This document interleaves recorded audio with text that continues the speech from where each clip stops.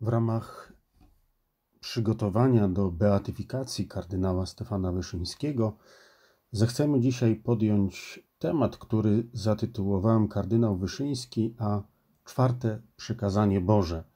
Przykazanie, które mówi nam o miłości i szacunku do rodziców, a które to w tym przypadku chciałbym e, bardziej szeroko potraktować jako spojrzenie na relację kardynała Wyszyńskiego ze swoją rodzoną matką, e, z ojczyzną naszą rozumianą jako matka, kościołem rozumianym jako matka i przede wszystkim jego relacji do Najświętszej Maryi Panny. Czyli można by zatytułować to spotkanie kardynał Wyszyński a matka. Pamiętamy, że Stefan Wyszyński urodził się 1 sierpnia 1901 roku. Urodził się w miejscowości Zuzela nad Bugiem. E, to miejsce, które leży na pograniczu Podlasia i Mazowsza. Urodził się jako drugie dziecko w wielodzietnej rodzinie Stanisława i Julianny Wyszyńskich. E, to miejsce, które niejako stanowiło też pewien, pewne miejsce spotkania dwóch tradycji, jeśli chodzi o pobożność maryjną, bo w tym domu, jak opowiadał później e, kardynał Wyszyński, e, była czczona Matka Boża Jasnogórska, to tam udawała się z pielgrzymką jego Matka Julianna i Matka Boża Ostrobramska, do której pielgrzymował Stanisław jego ojciec. Dom rodzinny, który, na który niewątpliwie bardzo wielki wpływ ma, miała jego matka Julianna, był domem, w którym e, on zdobywał e, te pierwsze bardzo ważne potem dla jego życia też duchowego doświadczenia życia wiary. Jak sam podkreślał później, e, utrwaliło mu się i z domu rodzinnego, i też ze środowiska, w którym wyrastał, takie doświadczenie wiary ludzi prostych, wiary, którą obserwował jako chłopiec. To, co potem powie, zdumiewało go w tej wierze, to była ich taka właśnie taki spokój, taka ufność, która z tej prostej wiary przebijała. Kardynał od razu Y, jakby uprzedzając rodzące się pytania, komentował, że, że to nie była, nie można było tego żadną miarą nazwać niewiedzą religijną, bo y, z tą prostą wiarą łączy się patrzenie w głąb, niemal y, jakieś mistyczne obcowanie. Kardynał mówił, że ci ludzie widzą to, w co wierzą. I to proste doświadczenie takiej prostej, głębokiej e, wiary, ufnej wiary towarzyszyło mu od początku, i tu niewątpliwie jest zasługa jego rodziców, a przede wszystkim jego matki Julianny. Kiedy Stefan ma 9 lat, rodzina państwa Wyszyńskich przeprowadza się do Andrzejewa. To jest miejscowość, która dla niego będzie e, zawsze łączyła się z wydarzeniem bardzo dla niego istotnym i bolesnym, jakim była śmierć jego matki. Tam właśnie, w tej miejscowości, kiedy już tam mieszkają, e, Stefan traci swoją matkę, która, kiedy umiera, ma dopiero 33 lata. Później o tym jej odchodzeniu E, które zapadło mu bardzo mocno w pamięć, będzie e, wspominał w ten sposób. Matka moja umierała prawie miesiąc. My, dzieci, siedząc w szkole, z lękiem nadsłuchiwaliśmy, czy nie biją dzwony kościelne. Dla nas byłby to znak, że matka już nie żyje. Kiedyś po powrocie ze szkoły stanęliśmy wszyscy przy jej łóżku a matka zwróciła się do mnie słowami: Stefan, ubieraj się. Ponieważ była jesień, był koniec października, zrozumiałem, że mam gdzieś iść. Włożyłem palto. Spojrzała na mnie i powiedziała: ubieraj się, ale nie tak, inaczej się ubieraj. Stefan we swoich wspomnieniach pisze dalej: Zwróciłem na ojca pytające oczy. Odpowiedział mi: Później ci to wyjaśnię. Ta scena pokazuje, że, y, że był mocny wpływ, też taki pozytywny wpływ matki na dalsze życie Stefana. Te słowa o tym ubieraniu się to jest niewątpliwie jakby zachęta, czy też wezwanie do tego, że kiedy ona odchodzi, no ten mały chłopiec musi szybko, będzie musiał szybko dojrzewać, będzie musiał e, podejmować pewne obowiązki i zadania na siebie, jakby ubierając je na siebie wcześniej niż zazwyczaj ma to miejsce w rozwoju, w rozwoju dziecka. E, I to e, było też jakieś pewnie wyznaczenie prorocze też jego drogi życiowej, e, która, która była zapewne pragnieniem też i jego matki i treścią jej modlitwy. Tutaj Andrzejewo jest miejscowością, w której jest pochowana jego, jego matka i Zawsze, kiedy odwiedzał jej grób i, i też kiedy ją wspominał, mówił wyraźnie, że mm, tęsknił za nią e, przez, przez całe życie. I właśnie ta tęsknota e, sprawiła, że e, zwrócił swoje serce z oddaniem ku tej matce, która żyje wiecznie, czyli ku Matce Bożej, Matce Najświętszej.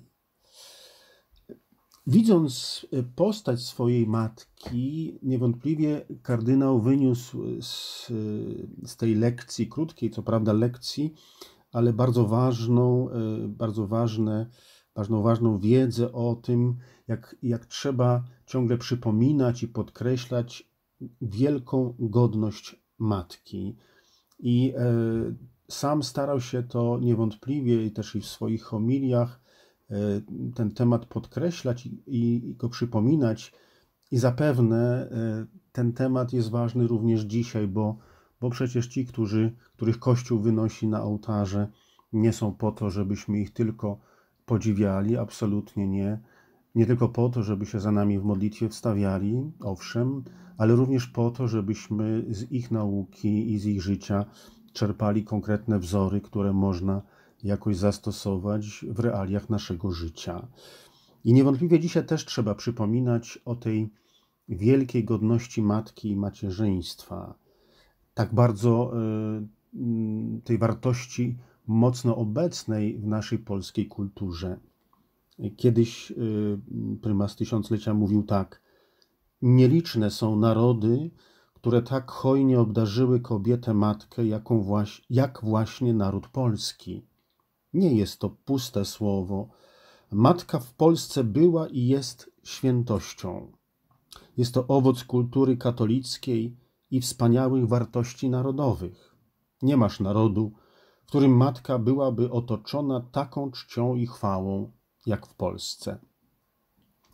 Możemy sobie tylko życzyć, by te piękne słowa prymasa tysiąclecia na zawsze pozostawały żywą prawdą y, w życiu mm, nas, Polaków, naszego narodu.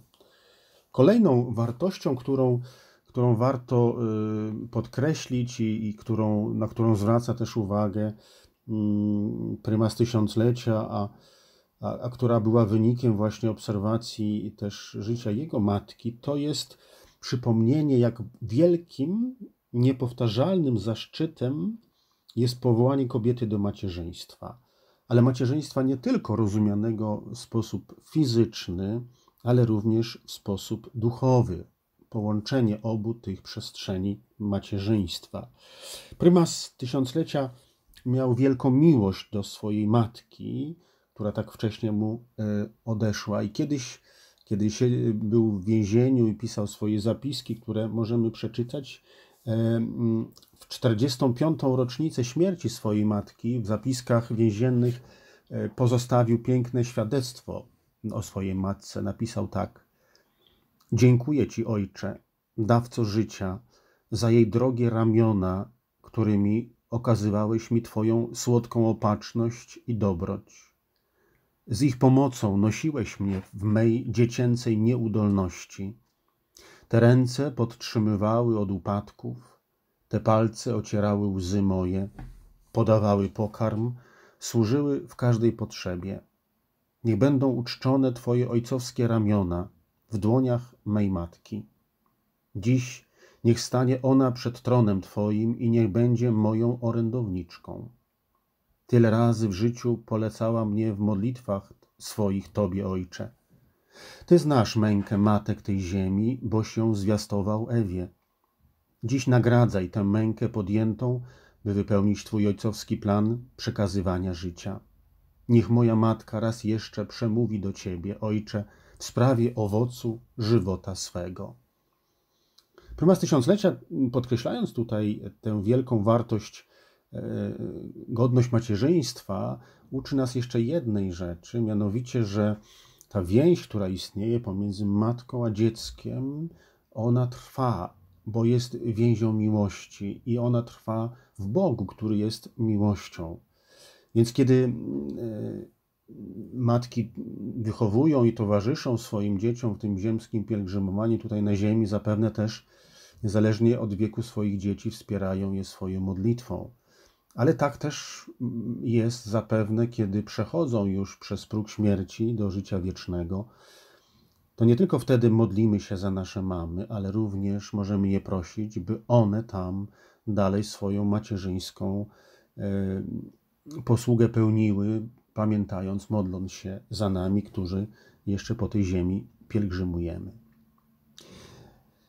Patrząc na relację y, Stefana do swojej matki, y, trzeba by podkreślić jeszcze jedną, jedną y, rzecz, którą niewątpliwie, na którą zwraca uwagę później kardynał Wyszyński, mianowicie ukazywanie też piękna, piękna życia kobiety, która e, realizuje się we wszystkich wymiarach życia. I, e, i to, to piękno e, w sposób szczególny, tego piękna można się uczyć patrząc na, na Maryję. Kardynał zawsze ukazywał konsekwentnie w tym, był konsekwentny, że wzorem właśnie każdej kobiety jest, jest Maryja, jest Matka Chrystusa i Jego pomocnica w życiu i godzinie śmierci. I, i podkreślał, że właśnie tu y, bardzo można uczyć się od, od Maryi tego, by, by być wierne, wierne jak ona.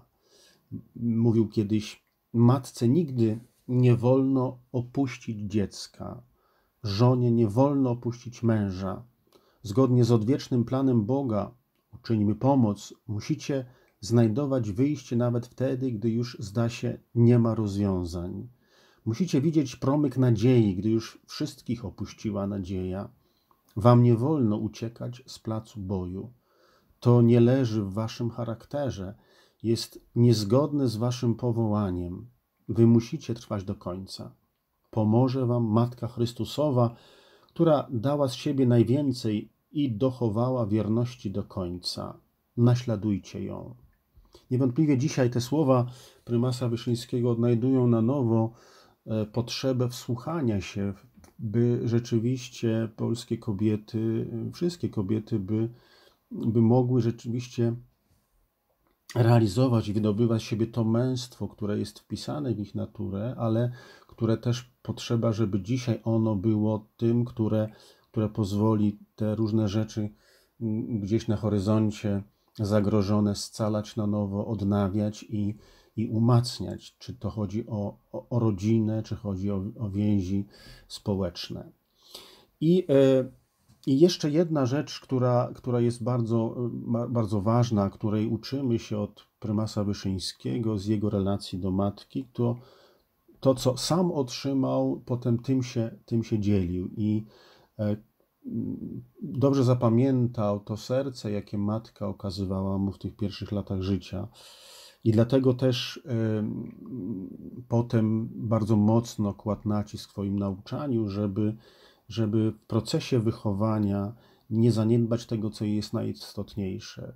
y, nie chodzi o stworzenie warunków, o zasypanie prezentami, ale chodzi o to, by, by każdy człowiek czuł się kochany, żeby każdy człowiek od, odnajdywał się w sercu kochającym, zwłaszcza kochającej matki. Dlatego wołał już w latach 70., może nawet 60., że w tej zmaterializowanej kulturze nic nie zastąpi serca, serca matki. Mówił tak: Dzisiaj świat kobiet przeżywa ogromną ewolucję. Coraz więcej mamy kobiet z dyplomami akademickimi, wyspecjalizowanych, oddających kulturze światowej wielką przysługę dzięki właściwościom duszy kobiecej, jakimi są subtelność, wnikliwość, sumienność. Ale człowiekowi współczesnemu potrzeba przede wszystkim serca. Najbardziej dyplomowana matka, ale bez serca nie potrafi wychowywać dzieci, nie spełni swych zadań rodzinnych. Młodemu pokoleniu przyszłości narodu potrzebne jest serce matki. To jest y, kolejny konkretny wniosek dla, dla nas, dla naszego społeczeństwa, jaki wypływa e, z życia i nauczania kardynała Stefana Wyszyńskiego, e, a co jest owocem czy efektem właśnie tego dziedzictwa, jakie otrzymał od swojej rodzonej e, matki Juliany.